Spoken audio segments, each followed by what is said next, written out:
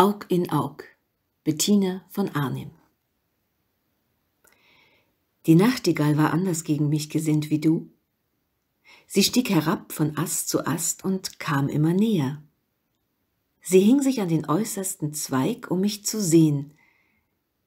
Ich wendete leise mich zu ihr, um sie nicht zu scheuchen, und siehe da, Aug in Nachtigallenaug.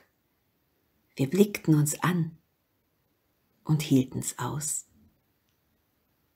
Dazu trugen die Winde die Töne einer fernen Musik herüber, deren allumfassende Harmonie wie ein in sich abgeschlossenes Geisteruniversum erklang, wo jeder Geist alle Geister durchdringt und alle jedem sich fügen. Vollkommen schön war dies Ereignis, dies erste Annähern zweier gleich unbewussten, unschuldigen Naturen, die noch nicht erfahren hatten, dass aus Liebesdurst, aus Liebeslust das Herz im Busen stärker und stärker klopft. Gewiss, ich war freundlich und gerührt durch dies Annähern der Nachtigall, wie ich mir denke, dass du allenfalls freundlich bewegt werden könntest durch meine Liebe. Aber was hat die Nachtigall bewogen, mir nachzugehen? Warum kam sie herab vom hohen Baum und setzte sich mir so nah, dass ich sie mit der Hand hätte haschen können? Warum sah sie mich an? Und zwar ins Auge. Das Aug spricht mit uns. Es antwortet auf den Blick. Die Nachtigall wollte mit mir sprechen. Sie hatte ein Gefühl, einen Gedanken mit mir auszutauschen.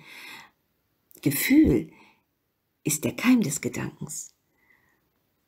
Und wenn es so ist, welchen tiefen, gewaltigen Blick lässt uns hier die Natur in ihre Werkstatt tun?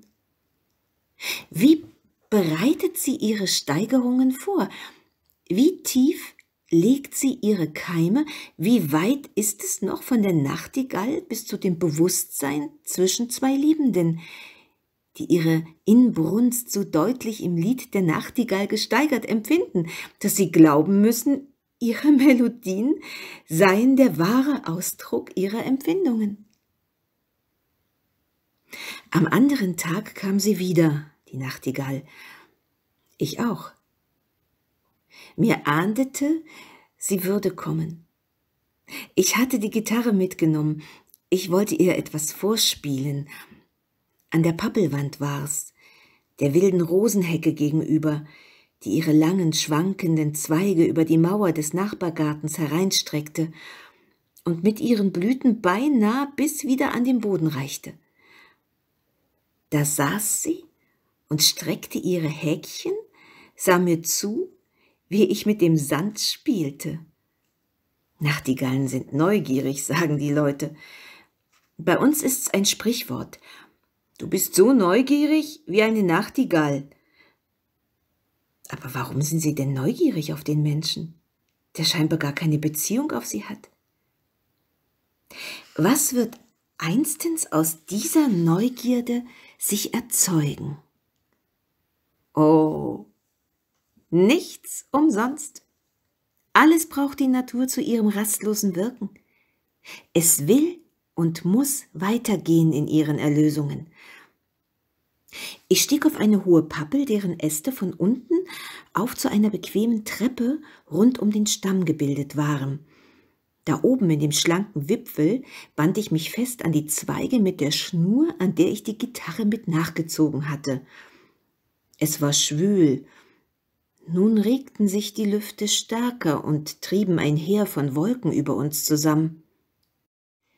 Die Rosenhecke wurde hochgehoben vom Wind und wieder niedergebeugt. Aber der Vogel saß fest. Je brausender der Sturm, je schmetternder ihr Gesang, die kleine Kehle strömte jubelnd ihr ganzes Leben in die aufgeregte Natur. Der fallende Regen behinderte sie nicht, die brausenden Bäume, der Donner übertäubte und schreckte sie nicht. Und ich, auch auf meiner schlanken Pappel, wogte im Sturmwind nieder auf die Rosenhecke, wenn sie sich hob, und streifte über die Saiten, um den Jubel der kleinen Sängerin durch den Takt zu mäßigen. Wie still war's nach dem Gewitter. Welche heilige Ruhe folgte dieser Begeisterung im Sturm. Mit ihr breitete die Dämmerung sich über die weiten Gefilde. Meine kleine Sängerin schwieg, sie war müde geworden. Auch wenn der Genius aufleuchtete in uns und unsere gesamten Kräfte aufregt, dass sie ihm dienen, wenn der ganze Mensch nichts mehr ist als nur dienend dem Gewaltigen, dem Höheren als er selbst. Und die Ruhe folgt auf solche Anstrengung. Wie mild ist da, wie sind da alle Ansprüche, selbst etwas zu sein, aufgelöst in Hingebung an den Genius.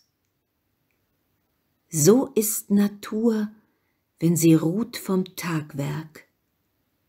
Sie schläft und im Schlaf gibt es Gott den Seinen.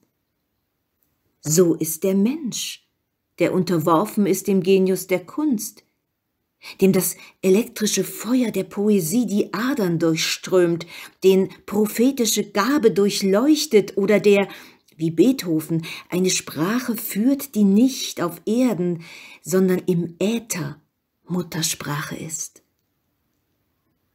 Wenn solche ruhen von begeisterter Anstrengung, dann ist es so mild, so kühl, wie es heute nach dem Gewitter war in der ganzen Natur und mehr noch in der Brust der kleinen Nachtigall, denn die schlief wahrscheinlich heute noch tiefer als alle anderen Vögel. Und umso kräftiger und umso inniger wird ihr der Genius der es den Seinen im Schlaf gibt, vergolten haben. Ich aber stieg nach eingeatmeter Abendstille von meinem Baum herab und durchdrungen von den hohen Ereignissen des eben Erlebten, sah ich unwillkürlich die Menschheit über die Achsel an.